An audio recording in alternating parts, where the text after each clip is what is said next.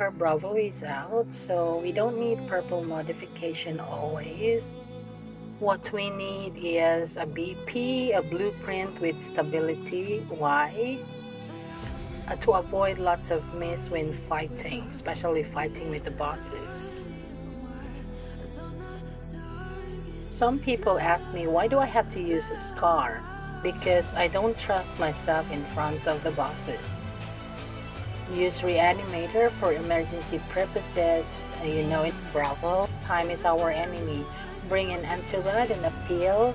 Use it if it's necessary, and then use the auto and sprint skills. So, as much as possible, avoid moving backward. Aim forward if you can. Here are some things to remember when doing bunker level 3.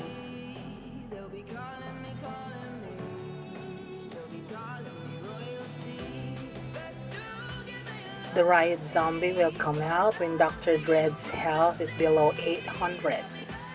As much as possible, do not hit Dr. Dread, fight with the riot zombie or, ki or kill the riot zombies first.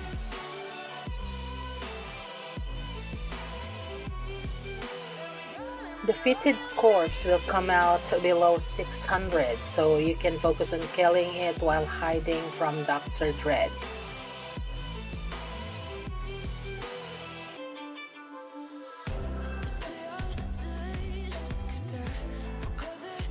The spewer will come out yes below 400 so like the like um, defeated corpse you can also uh, focus on click killing it. Once the spewer is dead uh, kill dr dread fastly because below 200 the slasher will come out. So we are ready to do bunker now. Let's go